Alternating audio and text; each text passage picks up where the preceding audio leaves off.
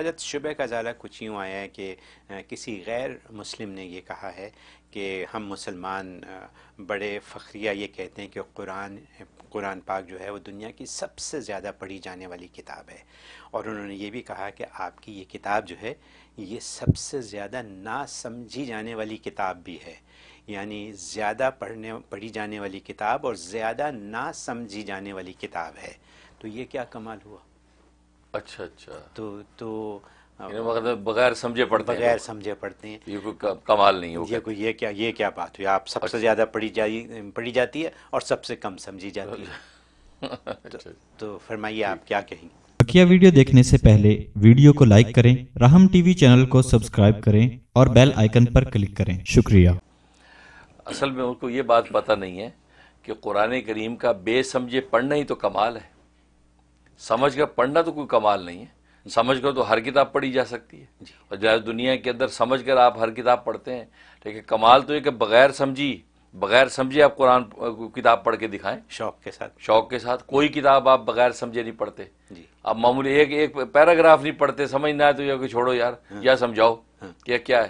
دیکھیے قرآن کریم بغیر سمجھے جو ساری دنیا پڑھ رہی ہے تو اس قرآن کا یہ تو کمال ہے۔ کون سی کتاب دنیا میں ایسی جو بغیر سمجھے پڑھی جائے بالکل ہے ہی کوئی نہیں ایک صفحہ نہیں اس کا مطلب یہ ہے کہ قرآن کریم کو اور بات ہے کو اور کوئی ایسی کشش ہے جو کسی کتاب میں نہیں ہے جی۔ کہ جس سے انسانوں کے قلوب متوجہ ہو رہے ہیں اور بغیر سمجھے صبح شام تلاوتیں ہو رہی ہیں۔ جی۔ اور لاکھوں انسان صبح شام اس کی تلاوتیں کر رہے ہیں نہ صرف کر رہے ہیں بلکہ سن رہے ہیں سن سن کے تسکین دے رہے ہیں۔ اب کون سا آج کل تو گانوں کی دنیا ہے جی۔ کون سا گانا دنیا میں جو بغیر سمجھے آپ سنیں کبھی؟ نہیں۔ آپ کو گانا سمجھ میں آتا تو سنتے بھی ہیں جھومتے بھی ہیں۔ ہاں۔ لیکن قرآن کریم کی تلاوت دنیا بغیر سمجھے سن رہی ہے اور سن کے جھوم رہی آنکھوں سے آنسو جاری ہیں۔ اس کا مطلب ہے کہ یہ کوئی اور چیز ہے یہ کسی بشر کا کلام نہیں ہے یہ خالق بشر کا کلام ہے۔ تو قرآن کریم کا تو کمال ہی ہے کہ بغیر سمجھے جو ہے بے سمجھے اس کو پڑھا جائے۔ اور تبھی نبی کریم صلی اللہ علیہ وسلم کا ارشاد ہے۔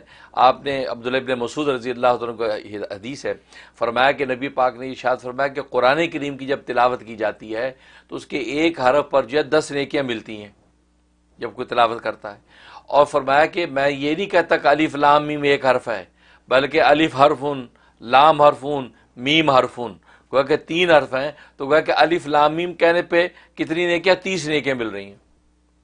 تو ریوارڈ مل رہا ہے تیس یہ وہ ریوارڈ آپ علی فلام کہنے پہ مل رہے ہیں نبی پاک صلی اللہ علیہ وسلم خود زمانے دے رہے ہیں۔ اور باقی پورا قرآن پڑھنے کے اوپر تلاوت کرنے پہ کتنا ریوارڈ ملتا ہوگا کتنا عجر ثواب۔ تو دنیا کی کسی کتاب کو یہ اعزاز حاصل نہیں ہے جو قرآن کریم کو حاصل ہے کہ بے سمجھے پڑھی جا رہی ہے۔ اور دیکھیں نبی کریم صلی اللہ علیہ وسلم نے جو لفظ ایسا چوز کیا جس کا کوئی ترجمہ ہی نہیں ہے۔ علی فلام کا کوئی معنی ہی نہیں پتا کسی کو۔ اللہ و رسول عالم۔ اللہ اس کے رسول جانتے ہیں ولاد میم کا کیا معنی ہے؟ آج بہت سے لوگ جو ہے، ہمارے مسلمانوں میں بھی من چلے کہہ دیتے ہیں۔ یار، قرآن کی تم تلاوت کرو، سمجھتے تمہیں آتا نہیں، فائدہ کیا ہے؟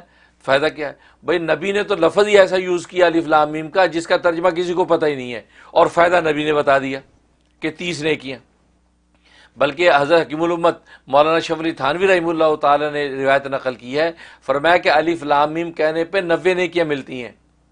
کیونکہ جب نبی کریم صلی اللہ علیہ وسلم نے اشاد فرما دیا کہ ایک حرف پر جو دس نیکیاں ملتی ہیں تو جب الف بولتے ہیں تو تین حرف منہ سے نکلتے ہیں الف الف لام اور فا۔ تو ہر ایک حرف پر دس نیکیاں تو صرف الف کہنے پہ نوے نیکیاں۔ اور جب کہتے ہیں لام تو لام الف اور میم تین حرف نکلے جی۔ تو تیس نیکیاں ہاں؟ پھر کہتے ہیں؟ میم میم یا اور میم۔ تیس نیکیاں تو الف لام میم پہ تو ایک روایت میں فرمایا کہ نوے نیکیاں لکھی جاتی ہیں۔ اور امام غزالی رحمۃ اللہ نے روایت نقل کی ہے فرمایا کہ قرآن کریم کی تلاوت اگر نماز میں کھڑے ہو کے کوئی کرے تو ایک حرف پر سو نیکیاں لکھی جاتی ہیں۔ سبحان اللہ واہ۔ سو نیکیاں۔ سبحان اللہ اور فرمایا کہ اگر نماز میں بیٹھ کے قرآن کی تلاوت کرے تو ایک حرف پر پچاس نیکیاں ملتی ہیں۔ اور فرمایا کہ خارج نماز میں اگر کھڑے ہو کے تلاوت کرے تو ایک حرف پر پچیس نیکیاں ملتی ہیں۔ اور خارج نماز میں بیٹھ کی تلاوت کرے تو ایک حرف پر دس نیکیاں ملتی ہیں۔ تو دس نیکیاں والی روایت آخری حالت میں ہے۔ ورنہ تو اگر نماز میں کھڑے ہو کے جب تلاوت انسان کر رہا ہے تو ایک حرف پر سو نیکی لکھی جا رہی ہیں۔ اب الف لام میم پہ آپ اندازہ کر لیں تو کتنی نیکیاں۔ الف کے اوپر یہ تین سو نیکیاں مل رہی ہیں۔ لام پہ تین سو، میم پہ تین سو، تو گویا کہ نو سو نیکیاں آپ کو علیف لام میم پہ مل گئی تو یہ تو ایسی کتاب ہے کہ یہ جو بغیر سمجھے آپ پڑھ رہے ہیں، اس پر اللہ تبارک و تعالی نواز رہے ہیں۔ اور اللہ تبارک و تعالیٰ اس کو اپنا قرب عطا کر رہے ہیں۔ ٹھیک ہے نا؟ تو لہٰذا ان کا یہ اعتراض کرنا کہ یہ سمجھی نہیں جاتی۔ تو بے سمجھے پڑھنا تو اس کا کمال ہے۔ سمجھ کر پڑھنا کیا کمال ہوا سمجھ کر تو ساری پڑھتے ہیں۔ ٹھیک ہے نا؟ ایک بات۔ اور دوسری بات یہ ہے ہاں وہ الگ چیز ہے۔ دیکھو، وہ الگ چیز ہے کہ بہت سے ہمارے لوگ بھی جب وہ کہہ دیتے ہیں، اور یار، سمجھ میں نہیں آتی تو فائدہ کیا ہے؟ ہاں ٹھیک ہے۔ اس میں شک نہیں ہے کہ عمل کے لیے سمجھنا ضروری ہے۔ تلاوت کے لیے سمجھنا ضروری نہیں ایک ہے تلاوت ایک ہے عمل۔ عمل کے لیے اس کو سمجھنا ضروری کہ کیا اللہ ہم سے مطالبہ کر رہا ہے ہم اس پہ عمل کر سکیں۔ وہ ایک نیکسٹ اسٹیپ ہے۔ جی۔ لیکن تلاوت اٹ سیلف وہ خود ایک بہت بڑی عبادت ہے۔ خود یت العلیم آیاتی نبی کے منصب میں شامل کیا یت العلیم آیاتی۔ ان کو تلاوت کرنا سکھائیے۔ تو تلاوت کا تعلق تو سمجھ کے ساتھ ہے ہی نہیں۔ وہ سمجھ کا تعلق تو یعلموم الکتاب کے ساتھ ہے کہ ان کو علم کی تعلیم دیجیے کتاب کی، قرآن کی۔ مطلب اس کے معنی، مطالب تفصیل سمجھائیے۔ تو وہ تو اگلا سٹیپ ہے۔ آپ اس اگلے سٹیپ کی وجہ سے پہلے سٹیپ کا انکار کر کیسے سکتے ہیں؟ کیونکہ وہ تو نبی کے منصب میں شامل ہے یت العلیم آیاتی۔ کیونکہ چار آپ کے منصب تھے یت العلیم آیاتی، کہ آپ ان کو قرآن کی تلاوت کر کے سکھاتے ہیں۔ تو اس تلاوت کے اندر سمجھ کا کوئی تعلق نہیں ہے، بس آپ تلاوت کریں۔ جیسے تراوی کے اندر امام پڑھ رہا ہے، پیچھے سارے سن رہے ہیں، بس تلاوت سن رہے ہیں، یہ تلاوت کر رہے ہیں۔ اس تلاوت کے اندر سمجھ کا کوئی تعلق نہیں ہے۔ وہ نبی کا منصب ہے۔ دوسرا، وہ یوزکیم دلوں کو پاک کرنا ہے۔ اور تیسرا، وہ یو الم کتاب کتاب کو سمجھانا ہے۔ یہ اب آئی سمجھ۔ اب تعلق آیا کہ اس کا ترجمہ نبی بتا رہے ہیں، اس آیت کا معنی بتا رہے ہیں، اس سے جو مسائل نکلے، اس کی تفصیل بتا رہے ہیں۔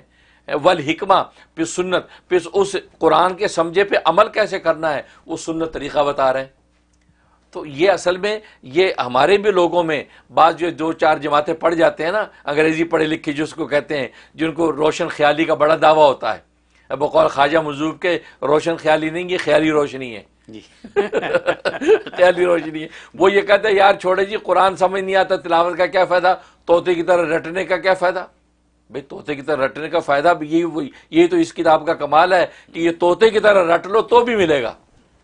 اور اگر سمجھ کے کرو گے تو پھر تو عمل کی سیڑھیاں آپ آگے طے کریں گے۔ تو اس لیے جو ہے، اس سے لوگ اصل میں قرآن کی تلاوت سے ڈسائڈ کرنے کے لیے ایسی باتیں کر دیتے ہیں، یار سمجھ میں نہیں آتا تو کیا فائدہ؟ بھائی سمجھ کے نہ آنے پر تو فائدہ ہے۔ سب، بلکہ سمجھ آنے لگ جائے تو انسان زیادہ تلاوت بھی نہیں کر پاتا۔ بلکہ لکھا ہے علامہ انور شاہ کشمیری رحمۃ اللہ علیہ بہت بڑے محدث گزرے ہیں، وہ ہزار سال میں ایسا محدث کوئی نہیں گزرا۔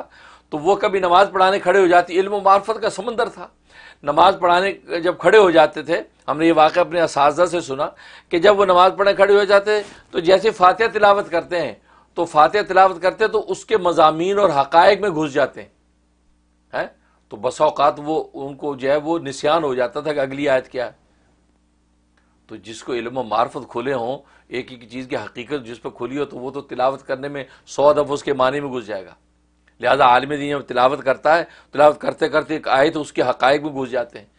وہ عالم بڑی ہے، میں ایک طالب علم ہوں، طالب علم ہوں، میری تو حیثیت نہیں۔ میں تلاوت کرتا ہوں، بعض آیتوں کی اس کی گہرائی میں گھس کے اس کی تفسیر اور ڈیٹیل دیکھنے لگ جاتے ہیں۔ وہ تلاوت ہی رک جاتی ہے۔ ایک ہی رکو پورا نہیں، اس کے اندر ہی گھس گئے ہم۔ اس کو سمجھنے لگ گئے، اس کو دیکھنے لگ گئے، اس کے حقائق ایسے پرکشی ہوتے ہیں۔ تو ایک عام آدمی جو تلاوت کرے، جس کو مانا پتہ ہی نہیں ہے، وہ تو جناب زبردست یا کئی منزلیں پوری کر جائے گا، کیونکہ اس کو کہیں ٹھہراؤ نہیں، کیونکہ سمجھ کچھ نہیں آ رہا۔ لیکن اللہ اس کے اس تلاوت پر بھی نواز رہے۔ اس لیے یہ دھوکا ہے کہ یہ کہنا۔ اور ہمارے نبی کریم صلی اللہ علیہ وسلم تو امی ہیں، امی ہے جو ان کا جو کوئی دنیا میں استاد نہیں ہے، ڈائریکٹ اللہ نے ان کو نوازا ہے۔ تو امی ہونا آپ کی شان ہے آپ کی شان ہے آپ کے لیے کوئی عیب نہیں ہے۔ لہٰذا اسی طرح یہ کتاب آپ کا موضوع ہے۔ اس کتاب کو بھی نہ سمجھ کے پڑھنا یہ اس کتاب کی شان اور کمال ہے۔ دنیا میں کون سی کتاب ہے جو نہ سمجھے ہوئے کوئی پڑھ کے دکھا دے تو پھر دیکھیں گے کہ کیا بات ہے۔ بالکل۔